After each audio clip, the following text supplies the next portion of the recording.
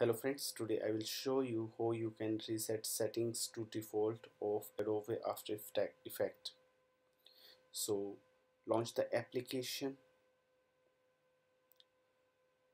It will show this type of window then click on create new or you can click on open project if you have already created old one. Here you will notice that the settings are not something like which you see normally.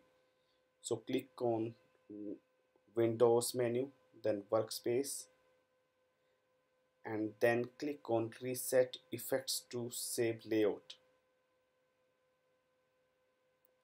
Now you need to go to the left upper corner and click on